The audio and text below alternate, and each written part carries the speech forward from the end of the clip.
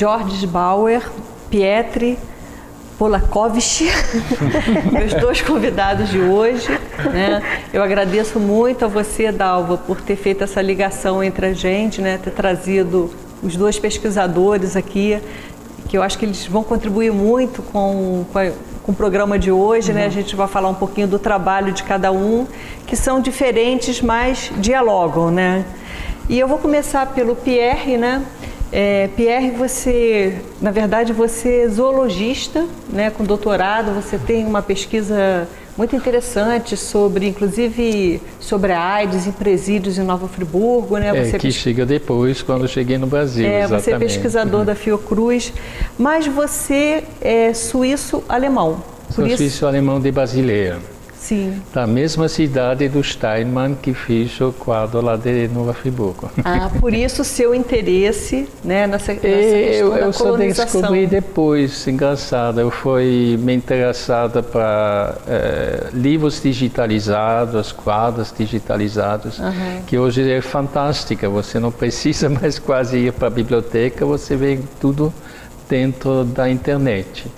Mas eh, eu fiquei surpresa quando eu vi um quadro eh, de um cafezal eh, bem velhinho do, Salaté, que eles me apresentaram assim na Biblioteca Nacional. Aí eu falei, Salaté, eu conheço esse nome, deve ser da, da minha cidade, Basileia. Falando, é suíço. Aí eu fui atrás e de repente vi Salaté e Steinman fizeram um livro, Souvenir do Rio de Janeiro, que estava lá também, lá no, na Biblioteca Nacional, na, na exposição. Uhum. Eu vi que o Steinman era da Basileia, que fez os quadros, é, a litografia foi do Salaté, que era de uma, um, vila, uma cidade adjacente à cidade brasileira de Biningen. E daí o seu interesse pela colonização suíça, né, em Nova Exatamente. Friburgo, né? A partir dessa essa esquadra, essa iconografia. É, aí eu, né? eu, eu, fui atrás também ver como eu, eu, tive essa oportunidade lá de fazer uma exposição em Nova uhum. Friburgo 2014 quando tive 195 anos dos colonos eh, suíços e 190 anos dos colonos alemães. Tá Aí certo. a Dalva me deu a oportunidade de fazer uma exposição onde já chegaram alguns dados. Tá, a gente vai falar então daqui tá, a pouco obrigado. sobre o seu trabalho. Petri, você é pesquisador ah, pela Universidade de Praga, né, que tem convênio com a USP. E o seu interesse, você está aqui em Friburgo, o seu interesse é porque você está fazendo, a sua tese de doutorado é sobre a imigração boêmia, é, dos boêmios no século XIX. E aí você já visitou, né, obviamente, várias partes do Brasil. Agora você está especificamente na nossa região porque dois irmãos, Franz Scheiner e Joseph Scheiner, eles, é, no caso especificamente o, o Joseph, né, ele foi fazendeiro em Cantagalo. Por isso que você está aqui na nossa região para levantar um pouquinho a história desses dois irmãos, né? Sim. Ah, muito obrigado. Eu só agradeço que posso visitar o seu programa da história e aqui. E é verdade, eu descob descobri no passado que Josef e Franz Scheiner, origem da Boêmia Norte, pertinho da região, pertinho da cidade que eu nasceu, e uh, na língua alemã esta vila se chama Oberliebig e na língua tcheca se chama Horní Lipchava. E fui uh, escrevendo na na livro na fundação da Sociedade Germânia esta data muito importante que trouxe meu que eu sabia que eles origem da Boêmia e eh, é parte da minha pesquisa porque eu busco todas das pessoas que se nasceu na Boêmia ou Morávia e emigrou, ou fez comércio, relações com o Brasil. E por isso você está aqui na nossa região, né? Sim. E Dalva, a sua ponte aí, né? Porque você é representante da, da, da colônia, né? Apesar é. do termo colônia assim ser meio discutível. É, sim. na Dos verdade, alemães aqui, na verdade, você também eu é sou descendente. apaixonada por cultura, né? Sou apaixonada por cultura. E, e sou pesquisadora também, adoro. Então, como você, a gente sente o cheiro de quem gosta de livro, de quem gosta de papel, né? O universo conspira, né? Conspira. e por isso que nós estamos aqui hoje falando sobre assuntos assim, um pouquinho diversos, mas que dialogam, né? Acompanhando o deslocamento dos colonos suíços para Nova Friburgo, seguiriam até a fazenda do colégio que pertenceram aos jesuítas e pousaram na fazenda do coronel Francisco Ferreira, hoje município de Cachoeiras de Macacu. Da fazenda do coronel Ferreira, iniciaram a subida da serra, não encontrando mais pela frente um lugar de pouso. Em todo momento, há referência de distribuição de víveres aos colonos e bestas para o transporte das bagagens e dos valetudinários que não estivessem em condições de andar a pé. Havia ordem de abertura de caminhos, melhoria das estradas, construção de pontes e estivas para melhorar a passagem. Foram servidos com carros de boi e carruagens até a serra. As providências do traslado dos colonos suíços determinados pelo rei Dom João VI foram devidamente cumpridas pelo inspetor da colônia. E quem confirma isso é o pesquisador da Fiocruz, Pierre Georges Bauer. Ele pesquisou nos jornais Der Schweizer Bolt e Le Jornal du Jura a publicação da correspondência que os colonos trocaram com seus parentes na Suíça após terem sido instalados na vila de Nova Friburgo.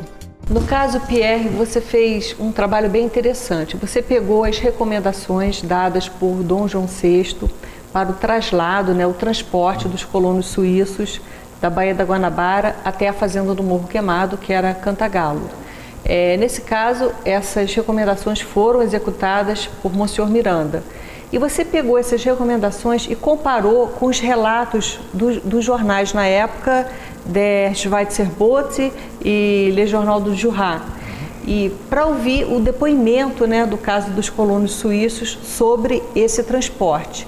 E me parece que foi algo assim positivo, né? Tudo correu assim né, de forma assim bem satisfatória, né? Isso é verdade, porque eu fiquei preocupado quando eu li que ah, os suíços não estavam muito felizes depois, eh, quando começaram os problemas lá, já com a colônia, e foi até criada a Associação Filantrópica Suíça para ajudar especialmente as viúvas e os órfãos a Europa toda até o Papa de dinheiro também para ajudar a, a colônia Nova Friburgo.